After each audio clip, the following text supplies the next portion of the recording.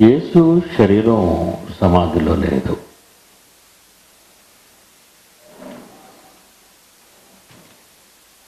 యేసు సమాధిలో యేసు శరీరం లేదు. కొత్త సమాధి. అది మానవ శరీరం.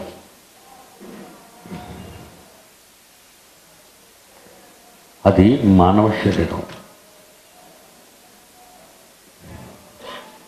మానవ శరీరం పురుగు పట్టాలి. మనలాంటి శరీరమే కనుక కంపు కొట్టాలి.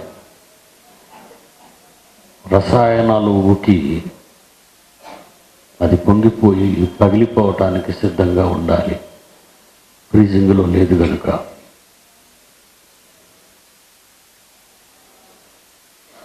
మరేమింది ఆ శరీరం? మానవ శరీరం. ఏమైందా మానవ ఆకారం? హెబ్రి పత్రిక ఏడో అధ్యాయం ఇరవై ఆరు. పవిత్రుడు నిర్దోషి నిష్కల్మషుడు పాపులలో చేరనివాడు ప్రత్యేకముగా ఉన్నాడు. ఆకాశ మండలములన్నిటికంటే మిక్కిలి ఎత్తైన వాడుగా అదే శరీరంతో వెళ్ళిపోయాడు. అపోస్తుల కార్యాలు పదమూడో అధ్యాయం ముప్పై ఐదు వచ్చిన వేరొక కీర్తన యందు నీ పరిశుద్ధుని కుళ్ళు పట్టనియవని చెప్పుచున్నాడు. నీ పరిశుద్ధిని కుళ్ళు పట్టనియ్యవు. అంటే ఈ శరీరాలు కుళ్ళకుండా ఉంచగలడు. ఉండిపోతే నాశనం అయిపోతాయి. కుళ్ళకపోతే ఉండిపోతాయి. అలయన్స్ ఎంప్లాయరు కొన్ని కోట్ల రూపాయలు తీసుకొని శరీరం కుళ్ళకుండా భద్రపరిచాడు ఇప్పటి వరకు. కానీ ఒకరోజు ఆత్మ ప్రవేశం అన్నది జరగదు దానిలోకి. ఏనాయనా? నీ పరిశుద్ధిని కుళ్ళు పట్ట నియ్యవు. యేసుప్రభుకు వచ్చిందండి ఇది ముప్పై నాలుగో వచ్చును మరియు అపస్త్ర కార్యాలు పదమూడో అధ్యాయం ముప్పై నాలుగు. మరియు కుళ్ళు పట్ ఇకను కుళ్ళు పట్టకుండా వదిలేసే పాయింట్. ఇకను కుళ్ళు పట్టకుండా ఆయనను మృతులలో నుండి లేపుటను బట్టి. ఇకను కుళ్ళు పట్టకుండా ఇకను కుళ్ళు పట్టకుండా ఇకను కుళ్ళు పట్టకుండా మనకివ్వబడిన యేసుకు అదే శరీరం మనలాంటి శరీరాన్ని కలిగిన యేసుక్రీస్తు కూడా ఆ శరీరం కుళ్ళిపోలేదు ఇకను కుళ్ళు పట్టకుండా. ఏనా ఇకను కుళ్ళు పట్టకుండా. రమపత్రిక ఆరాధ్యాయం ఎనిమిది తొమ్మిది వచనాలు చూడండి. మనము మనము మనము కూడా క్రీస్తుతో కూడా చనిపోతే మృతులలో నుండి లేచిన క్రీస్తు ఇకను చనిపోడనియు మరణమునకు ఇక ఆయన మీద అధికారము లేదని ఎరిగి ఆయనతో కూడా జీవించుదుము శరీరాలతో. గమనించాలి ఆ పాయింట్ని. ఎందుకంటే యేసు శరీరం సమాధిలో లేదు కదా. మరి మీ శరీరంలో సమాధుల్లో ఎందుకు ఉండాలి? నా శరీరం ఎందుకు ఉండాలి సమాధిలో? ఎబ్రి పత్రిక తొమ్మిదో అధ్యాయం ఇరవై ఐదు నుంచి ఇరవై ఎనిమిది వరకు ఇరవై ఐదు నుండి ఇరవై ఎనిమిది వరకు. అంతేకాదు ప్రధాన యాచకుడు ప్రతి సంవత్సరము తనది కాని రక్తము తీసుకొని పరిశుద్ధ స్థలములోనికి ప్రవేశించినట్లు ఆయన అనేక పర్యాయములు తన్ను తాను అర్పించుకొనుటకు ప్రవేశింపలేదు. అట్లయిన ఎడల జగత్తు పునాది వేయబడినది మొదలుకొని ఆయన అనేక పర్యాయములు శ్రమపడవలసి వచ్చేది. అయితే ఆయన యుగముల సమాప్తి ఎందు తన్ను తానే బలిగా అర్పించుకునుట వలన పాప నివారణ చేయుటకై ఒక్కసారే ప్రత్యక్షపరచబడ్డాడు. మనుషులు ఒక్కసారే మృతి పొందాలని నియమింపబడిన. ఆ తరువాత ఆ తరువాత తీర్పు జరుగును. యేసుకు ఏ రకంగా జరిగిందో మనకి ఆ రకంగానే జరుగుతుంది అనంటే ఏ శరీరాలు మీకు ఇవ్వబడ్డాయో ఆ శరీరాలు మరలా మీకు వస్తాయి అంటున్నాడు చూడండి. కీర్తన పదహారు తొమ్మిదవ వచనం. కీర్తన పదహారు తొమ్మిది. అందువలన అందువలన నా హృదయము సంతోషించుచున్నది నా ఆత్మ హర్షించుచున్నది నా శరీరము కూడా సురక్షితముగా నివసించుచున్నది. నా శరీరం కూడా సురక్షితముగా నివసించుచున్నది. ఎందుకనగా నీవు నా ఆత్మ ఆత్మను పాతాళములో విడిచిపెట్టవు కదా మరి? నీ పరిశుద్ధులు కుళ్ళు పట్టనియవు కదా? ఆత్మకు ఆత్మ కుళ్ళదు కదా? శరీరం కుళ్ళుతుంది. శరీరం కుళ్ళిపోతుంది. ఆత్మ కుళ్ళిపోదు. అందువలన నా ఆత్మ పాతాళంలో ఉండిపోతే మరి శరీరం నాకు రాదుగా? తిరిగి నా శరీరం కొరకు నా ఆత్మను నువ్వు పాతాళంలో విడిచిపెట్టకుండా పాతాళం నుంచి నీ ఆత్మను తీసుకొచ్చి కుళ్ళిపోని శరీరాన్ని మరలా నాకు ధరింపచేసి మళ్ళా నన్ను లేపుతున్నావు. అదే నెక్స్ట్ బిట్ చెప్తున్నాడు. గోతిని చూడనియ్యవు అది పదం అండర్లైన్ చేయండి. గోతిని చూడనియ్యవు ఇంతవరకు ప్రపంచానికి తెలియని ఒక పురూపమైన మహాసత్యం. ఈ శరీరాలు మళ్ళా మీకు వస్తాయి. ఎలాంటి శరీరాలు? ఏదేను వనవులో నేల నుండి తీయబడిన ఆదాముకిచ్చిన అలాంటి శరీరం. శాపం వచ్చిన తరువాత మారిపోయిన ఈ శరీరాలు కాదు. అదే మట్టి అదే శరీరం. కానీ ముసలితనము లేనిది శరీరము ఉడగనిది నాశనము కానిది కుళ్ళు పట్టనీయనిది గోతిలో ఉండనిది. ఎందుకు నమ్మాలి? యేసు గురించి ఎందుకండి ఇన్ని త్యాగాలు మనం చేయాలి భూమి మీద? ఈ శరీరంతో ఇన్ని త్యాగాలు ఈ భూమి మీద ఎందుకు మనం చేయాలి? అదే పేతురు తన మహాప్రసంగంలో ఉన్నాడు మరొకసారి క్రీస్తు పూర్వం వెయ్యి సంవత్సరాల క్రితం దావీదు మాటలు మరలా మనం జ్ఞాపకం చేసుకుందాం. చదవండి మరలా మాట. నా హృదయం సంతోషిస్తుంది. నా ఆత్మ హర్షించుచున్నది. నా ఆత్మ హర్షించుచున్నది. నా శరీరం కూడా సురక్షితముగా నివసించుచున్నది. ఎందుకు బిట్టువాడాడు ఆయన? మరి ఇంతవరకు ఆత్మలు అన్నారు మన్నైనది వెంకటవల్లనే మన్నవునన్నారు. ఆత్మ తాను దయచేసిన దేవుని ఎద్దుకు పోతుందన్నారు. మరలా ఈ శరీరం కూడా వేటండి అనుకుంటున్నారా మీరు? ఆ రోజు మీకు ఆ పాఠమే చెప్పాలి. ఎందుకంటే చిన్న పిల్లలు. ఇప్పుడు మీరు మెచ్యూర్ స్టేజ్కి వచ్చారు. మీ మైండ్ మెచ్యూర్ అయింది. ఇప్పుడు మీరు ఏదైనా భరించగలరు. దేనినైనా తట్టుకోగలరు దేనినైనా ఆలోచించగలరు. ఎవరండి ప్రపంచంలో చెబుతారు ఈ మాటలు. బైబిల్లోని ప్రాథమిక జ్ఞానమే అర్థం కాలేదండి. మొదటి శతాబ్దం తరువాత ఈ సమాజానికి బైబిల్లో ప్రాథమిక ఫండమెంటల్ నాలెడ్జ్ అంటారు దీన్ని. ప్రాథమిక విద్య. సి, ఇవి ప్రాథమిక విద్య. అని బైబిల్ ఓపెన్ యూనివర్సిటీ ఇండియా. ప్రాథమిక కాదు. Post graduation. ఈజీ పరిపూర్ణమైన విద్య. పరిపూర్ణులు మధ్య బోధించవలసిన విద్య. పరిపూర్ణులైన వారి మధ్య జ్ఞానమును బోధించుచున్నాము.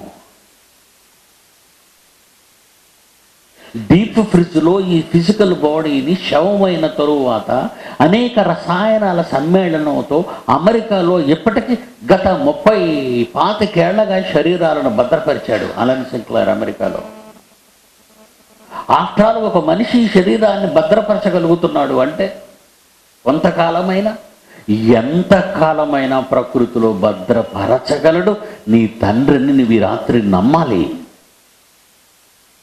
రేపు నీకు వచ్చే ఈ శరీరం ఈరోజు నీకున్న ఈ శరీరము లాంటిది కాదు. శాపం వచ్చిన శరీరము లాంటిది కాదు. శాపము రాక ముందటి ఆదాముకున్న శరీరము. ఆ తండ్రి పిల్లలే కదా మీరంతా.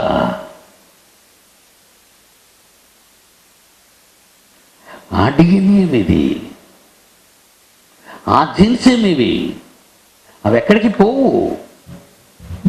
భద్రపరచబడ్డాయి. అందుకే అంటున్నాడు. యేసు మాటలు ఇవి యేసును గుర్చిన మాటలు ఇవి దావీదు రాసిన మాటలు ఇవి నా శరీరమును కూడా సురక్షితముగా నివసించుచున్నది ఎక్కడా? ఎక్కడ? మధ్యలో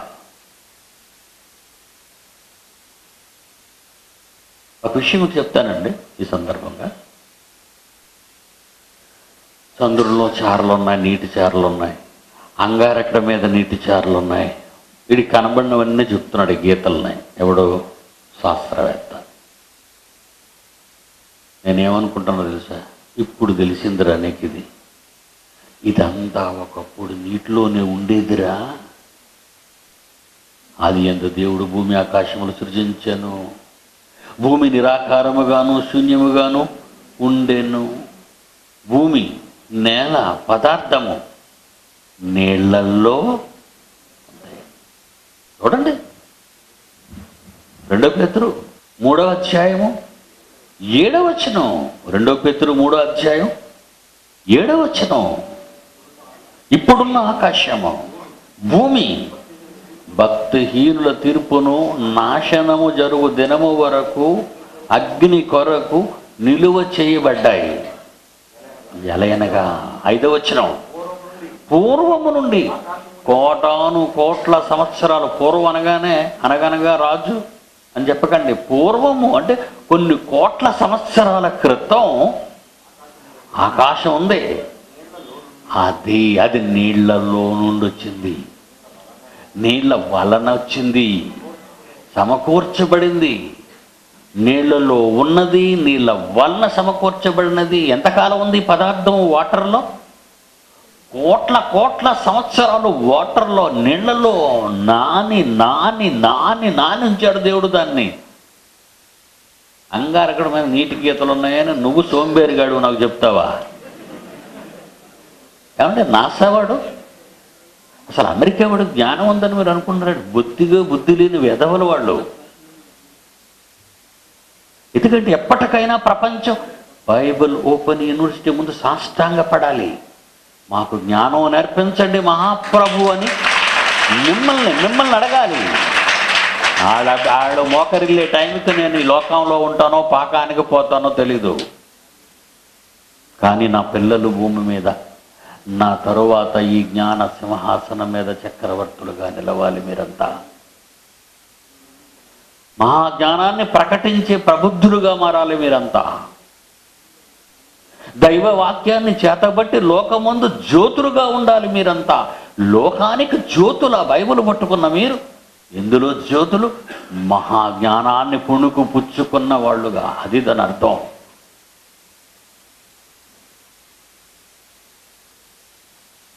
నీళ్ళలో ఉంది వందల కోట్ల సంవత్సరాల క్రిందటి ఈ ప్రకృతి పదార్థం అంతా నీళ్ళలో ఉంది నీళ్ళ వలన సమకూర్చబడి నీళ్ళలో నుండి వచ్చింది అంగారకుడే కాదురా గుదురుడు శుక్రుడు బుధుడు సూర్యుడు నా కోటాను కోట్ల నక్షత్రాలు అన్ని వాటర్లోనే ఉండేవి.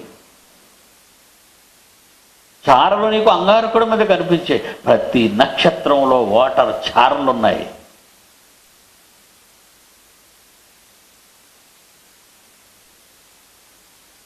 ప్రతి స్టార్లోనూ ఈ చారలు నీటి చారలు కనబడతాయి ఎంత మండుతున్నా అంతవరకు మనిషి ఇంకెదగలేదు ఇంకా ఆ స్థితికి రావడానికి ఇంకా ఎన్ని వందల సంవత్సరాలు పడతాయో ఈ శాస్త్ర ప్రపంచానికి తెలీదు.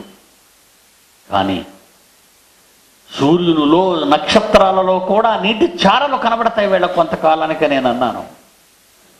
ఆది మానవుని జన్మస్థలం ఆసియా అన్నాను నెరవేరింది అది ఆది మానవుడు జన్మించాడు. ఆసియా ఆఫ్రికా కాదురా డార్విన్ చెప్పేది నమ్మకండి అన్నాను.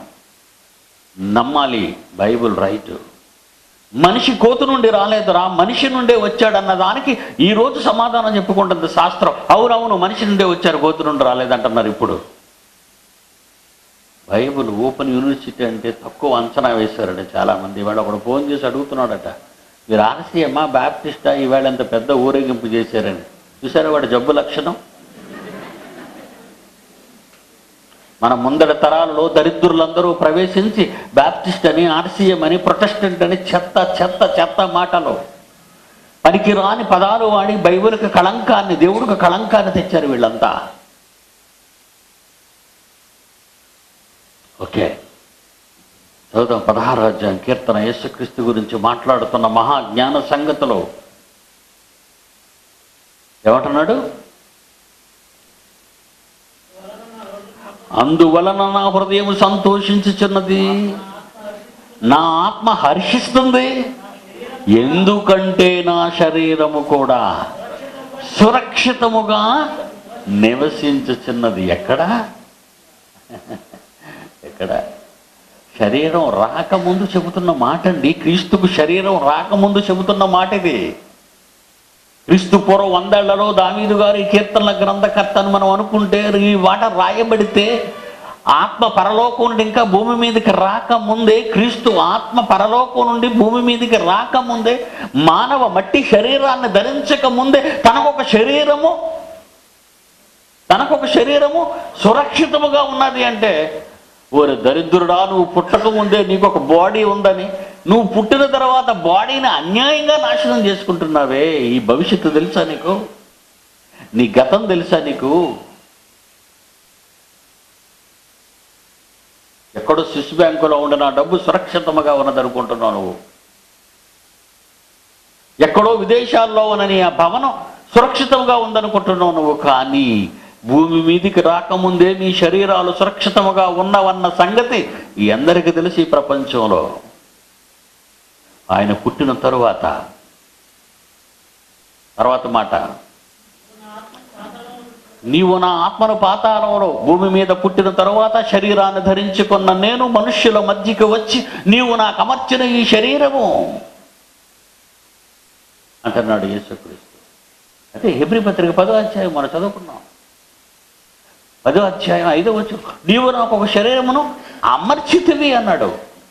అమర్చితివి. అంటే ఎప్పుడో తయారైనది అది ఎప్పుడో సిద్ధపరచబడినది అది ఎప్పుడో నీ కొరకు తొడుగు చేయించాడు ఆయన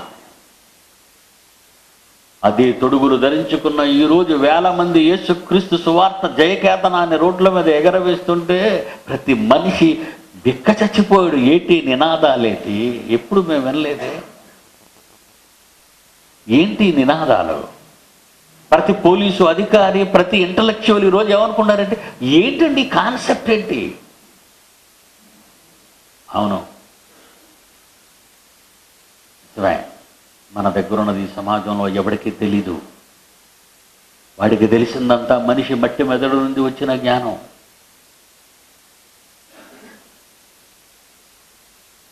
అమర్చబడిన శరీరం అంటున్నాడు చూడండి. అంటే నీవు నాకు ఒక శరీరం అమర్చితమని క్రీస్తు అంటున్నాడు. అంటే ఎక్కడ తయారు చేసి దీన్ని పెట్టాడు ఆయన? ఎక్కడ భద్రపరిచాడు దీన్ని? ప్రకృతి. ఆదాముకి ఎక్కడి నుంచి తీశాడు? ఆదాముకు శరీరాన్ని ఎక్కడి నుంచి తీశాడు? నేల మంటి నుండి నరుని నిర్మించి అన్నాడు. నిర్మాణం మహానిర్మాణపు పదార్థాన్ని ప్రకృతిలోనే ఉంచాడు ఆయన. ఈ మహానిర్మాణం ఆయన అన్న నిర్మాణం మనుషులన్న నిర్మాణాలు వేరు దేవుడు నోటకొచ్చిన? చే చేతతో చేయబడిన నిర్మాణము వేరు. అంత మహానిర్మాణమైన నీ ఆకారం నీ శరీరం భద్రపరచబడింది.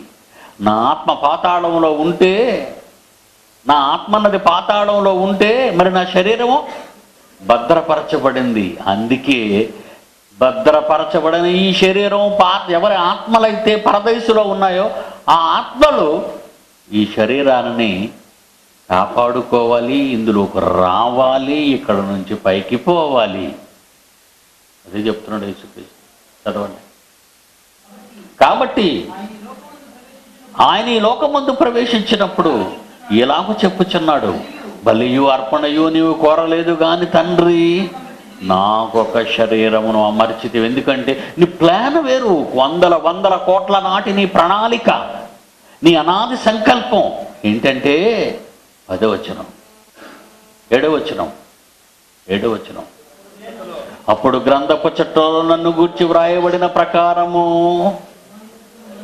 దేవా నీ ఇష్టాన్ని నెరవేర్చటానికి ఇదిగో నేను వచ్చియున్నాను అమర్చబడిన ఈ శరీరంతో ఏం భూమి మీద జరిగించాలో సాహసాలు? ఇదిగో చేయటానికి నేను వచ్చానన్నాడు. ఎంతమంది శరీరాలు ధరించుకొని కట్టెలు మట్టెలో కలిసిపోయి అన్యాయం అయిపోతున్నారో చూడండి ప్రకృతిలో వాళ్ళందరికీ ఎప్పుడు మీరు నేర్పిస్తారు ఈ జ్ఞానాన్ని. అందుకే కీర్తనలో యేసుక్రీస్తు వారు మాట్లాడిన మాటలు చూడండి. ఆయన వరకు వ్రాయబడిన ప్రవక్త ద్వారా వ్రాయబడిన మాటలు. చదవండి మరలా. పదహారు అధ్యాయంలో. నా హృదయం సంతోషించుచున్నది. నా ఆత్మ హర్షించుచున్నది. నా శరీరము కూడా సురక్షితముగా నివసించుచున్నది. ఎందుకనగా నీవు నా ఆత్మను పాతాళంలో విడిచిపెట్టవుగా? నీ పరిశుద్ధిని శరీరాన్ని కుళ్ళు పట్టనీయవుగా నీవు జీ జీవ మార్గమును నాకు తెలియజేసితివి. ఆ, గోతులు ఉండనివ్వడట దీన్ని. దీన్ని గోతులు ఉండనివ్వడట. రెండో అధ్యాయం అపోస్తల కార్యాలు. అపుస్తుల కార్యాలు రెండో అధ్యాయం. ఇరవై ఏడు. అదే మాట పెంతెకొస్తున్న పండుగ దినాన్న పేతురు మాట్లాడుతూ ప్రయోగించాడు. ఆనాడు యూదులకి ఏమైనా ఆదరణ వచ్చిందా? ఆలోచించగలిగారా వాళ్ళైనా? అదే మాట. నీవు నా ఆత్మను పాతాళములో విడిచిపెట్టవు. నీ పరిశుద్ధుని కుళ్ళు పట్టనీయవు. అంటే శరీరాలు కుళ్ళిపోవా? కుళ్ళిపోవండి. కొళ్ళవు. మట్టిలో ఉన్నదేది కొళ్ళదు. కుళ్ళిపోతున్నట్టుగా నువ్వు చూస్తున్నావు. కుళ్ళిపోయిందని నువ్వు అనుకుంటున్నావు. అనంత వాయువుల్లో కలిసిపోయిందని నువ్వు అనుకుంటున్నావు. ప్రకృతిలో విలీనమైపోయిందని నువ్వు అనుకుంటున్నావు. కానీ అది ఏం కాదు అంటున్నాడు. ఏం కావడానికి వీలు లేదు అంటున్నాడు. ఎందుకంటే ఈ శరీరం రావటానికి ఆయన పడిన కష్టం తల్లి గర్భంలో నీకు తెలుసు. నీకే ఈ శరీరం ఇవ్వాలి అనుకోవాలన్నది. అనుకోవడానికి దేవుడు నీ తండ్రి నుండి తల్లిలోనికి వచ్చిన దినాన్న క్షణాన్న నిన్ను నిలబెట్టటానికి ఆయన కన్ను కన్ను విప్పి కన్నులు విప్పి పరికించి పరిశీలించవలసిన పరిస్థితి ఏర్పడింది అన్నాడు నూట ముప్పై తొమ్మిది కీర్తన పదహారులో. నూట ముప్పై తొమ్మిది కీర్తన పదహారులో. నేను పిండమునై ఉండగా నీ కన్నులు నన్ను చూడవలసినంత గొప్పవాడినా నేను? ఎందుకు చూశాడు ఆయన? ఎందుకు ఆయన చూస్తున్నాడు ఆయన? నిన్ను నిలబెట్టాలి. నీ వెనక ఒక ప్రణాళిక ఉంది. నువ్వు పుట్టుక వెనక ఒక పెద్ద మిస్టరీ ఉంది. నువ్వు పుట్టిన తర్వాత ఒక హిస్టరీని స్థాపించాలి.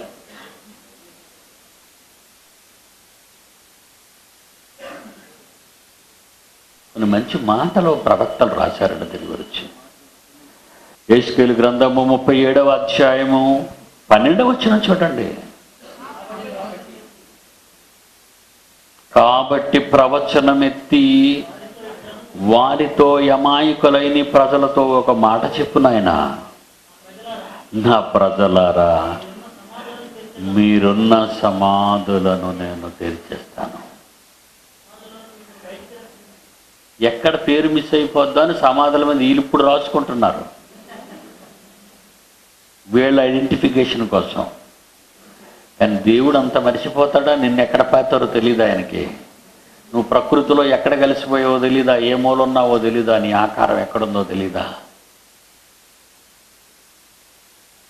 చెప్పమన్నాడు.